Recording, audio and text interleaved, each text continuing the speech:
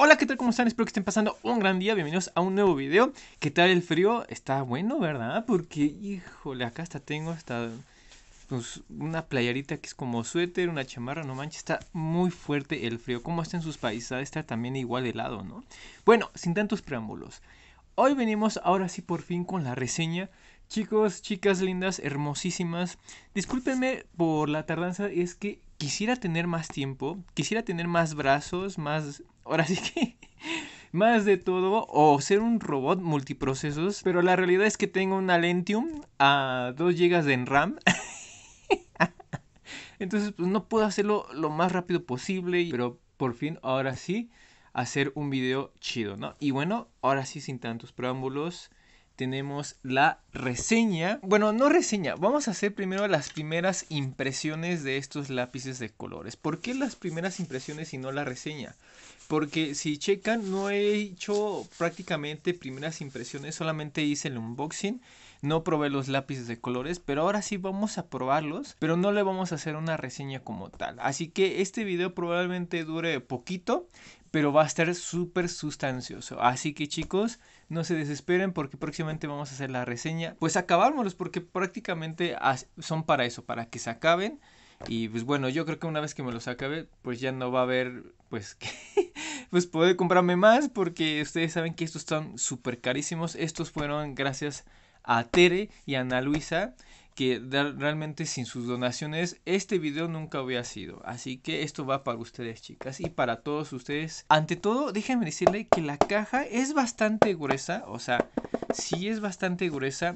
Yo siento que si te los llegas a aventar así o a caer así o de las esquinas, yo siento que sí se van a llegar a romper las esquinas. O a lo mejor no a romper, sino a doblar. Y entonces se va a ver muy mal el aspecto. Mira, aquí a continuación te pongo una imagen de que estos lápices de colores de Caran Dash estaban en su versión de metal. Sí, antes estaban estos lápices de colores en su versión de metal, como estabas viendo en las imágenes. Por ello yo creo que los hicieron en esta versión de cajita porque dijeron, bueno, pues es que es mucho material o es un material premium, este es carísimo o los damos muy caros, solamente es para la gente pues que tiene billete, la verdad, o que se dedica a esto profesionalmente. Aquí en el mundo hay de todo, que no le cuesta pagarse este set de 12 colores, es como comprarse unos lápices Big Evolution, por así decirlo. Hay personas que se compran la de 76 colores y hace cuenta que se están comprando unos lápices Supermina sin problemas, entonces y se compran hasta de 2, 3 lápices de colores de 76 colores de esta marca de Carandash. Y hay personas como nosotros, creo yo pensar, por eso es mi duda del creo, pues no podemos costear, no podemos comprar un, tan siquiera una caja de 12 colores. Igual, y si te puedes comprar la de 12 o la de 20, tal vez la de 40, pero mira, se te va tu sueldo ahí, no vas a tener para comer. Pero bueno, ahora sí vamos a abrirlo una vez que hemos descubierto esto, que es una caja de cartón común. Tiene su felpa, está bueno, es duro, es rígido. Pero yo siento que si no lo cuidas bien, siento que si se te vaya a echar a perder gachamente. Aquí tenemos el folleto que se los leí precisamente en el unboxing. Es un folleto bonito, está muy padre, está, está padre. Y aquí tengo los lápices de colores. Aquí se ponen muy bien en la cajita. Los lápices de colores, fíjense que me he estado dando cuenta que sí son de, de un barril bastante grueso no tan grueso, así que tú digas eh, que estorba al momento de dibujarlo, agárralo así o agarrarlo así, no, nada que ver. Sin embargo, yo creo que eh, estos lápices de colores, yo pienso que si no tienen protección en la mina, entonces cuando se te vayan a caer los lápices de colores, siento que se te van a partir. Entonces yo creo que hay que tenerle mucho respeto a estos lápices de colores, porque prácticamente estás utilizando aquí dinero. o sea, estás ocupando dinero, pero convertido en lápiz de color. Sí, son muchísimos, son, son muy caros. Y bueno, a todos los que los tengan, de verdad, mis respetos. Están muy, muy padres los lápices de colores. Vamos a probar solamente tres lápices de colores. Vamos a probar este azul, este otro azul y este azul claro. Vamos a, sentirlos, vamos a, a, ver qué tal las primeras impresiones, vamos a ver qué onda. Y bueno, como les dije, este video es cortito, pero ya próximamente en la reseña pues vamos a ocuparlo mucho mejor. Pero antes que nada, déjenme decirle que si el barril es bastante bonito, tiene aquí sus características, aquí el código de barras por si quieres comprártelo por separado, eso andaba cayendo. Permanent Color, el Life Fast, las siglas de el FSC, aquí el nombre del color, Luminance, el 6901, Carandash Swiss Made, y me imagino con un número de, de lápiz, supongo yo, no sé, desconozco estas siglas. Y así están en todos los lápices de colores. Es madera de cedro. Eh, esto está lacado, o sea, no, no es natural como aquí. Aquí se siente diferente. Esto sí está lacado porque se siente liso. Pero realmente se ven muy elegantes y se ven muy bonitos. Ok, ahora sí vamos a hacer las primeras impresiones y vamos a, ver qué onda con el color. Les voy a bajar más la camarita y vamos a ver qué tal, qué tal se sienten y bueno, vamos a ver qué tal pues pintan, ¿no? Ok, vamos a hacer una pequeña rayita acá arribita. Sí, acá arribita. Vamos a ver qué onda. Ok, vamos a empezar con el color azul fuerte y... Uy, uy, uy, uy, uy, uy, ok, respira. Es una hoja Canson Mix Media, es de 160 gramos. Ok, bueno. ¿Escuchan el ruido? ¿Cómo se escucha? Se escucha como si fuera un lápiz duro. Y de hecho el lápiz es duro. Aclaro, esto es mi primera... Ahora sí mis primeras impresiones. Es un lápiz duro porque no se siente tan cremoso como los Prismacolor, pero la calidad de la mina y del pigmento sí se ve bastante saturado. Ok, vamos a probar este azul que está muy bonito, se ve está muy padre. Y ahorita lo vamos a superponer a ver qué onda. Sí, es un lápiz que es duro, pero ojo, no es un duro como un Faber-Castell Policromos. No es una dureza como un eh, Lira. No es una dureza como un Derwent Color Soft. No. No es tampoco... Uf, este color pinta bien bonito. No es un color como los colores escolares. No es un color neoni, no es un color Marco Renoir, no es un color Deli, no. Me refiero a la dureza. Wow, wow, no, está padrísimo. Ahorita le sigo continuando diciendo de los colores duros. Lo que me estoy dando cuenta es que machea bastante bien el color. Bueno, aquí obviamente se ve un poquito más como saturadito el color. Y aquí se ve más claro.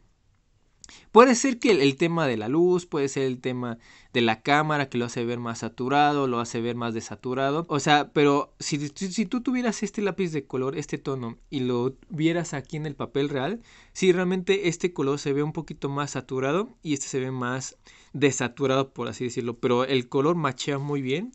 A ver, este color, igual, este machea muy bien. Aunque el barril se ve más oscuro, pero sí da muy bien el match. Y este color, aunque este se ve un poquito más oscuro, sí machea extraordinariamente el color. O sea, wow. Bien, ¿a qué me refiero con, lo, con la dureza? O sea, son duros, pero no son duros como los que te he mencionado de la marca, de las marcas anteriores, ¿no?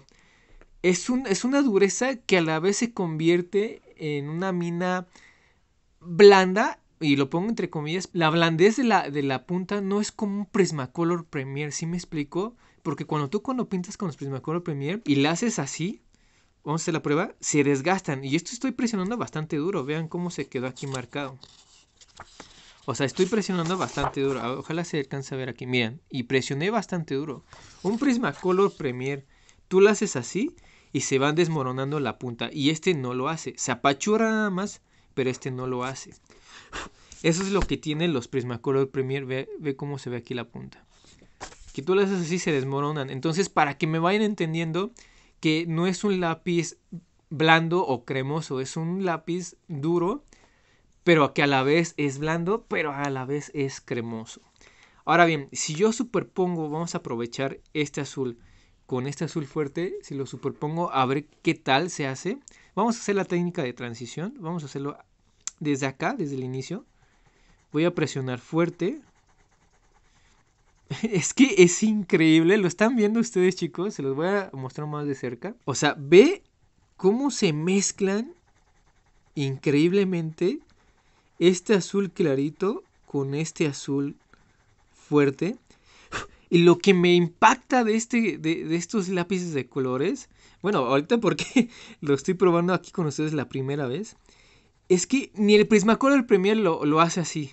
O sea, si tiene el poder de hacerlo el Prismacolor Premier, eso es un hecho, sí lo hace, o sea, no, no tengo por qué negarlo, sí lo hace. Pero me atrevo a decir que este lo hace más rápido. Ve cómo lo hizo, ve cómo hizo la transición. O sea, no manches. A ver, vamos a ver con este azul un poquito más claro. Y ve cómo lo mezcla. O sea, lo mezcla de volada. Y estoy imprimiendo un 60-70% de fuerza. O sea, no estoy imprimiendo toda la fuerza. Es increíble cómo lo hace, cómo lo machea. Wow, a ver, déjame probar el este como como magenta. No sé qué color sea este. Este es un... Me dice que es un Meridian. Meridian, quién sabe qué. No, y vean, luego, luego, o sea... Aquí, por ejemplo, es donde me dan, me dejan un poco de qué desear. Un tono como este de Prismacolor Premier ya hubiera aquí en este inicio ya hubiera marcado más intenso. Si me explico? Porque aquí, si se, alcanza a apreciar, se ve como opaco.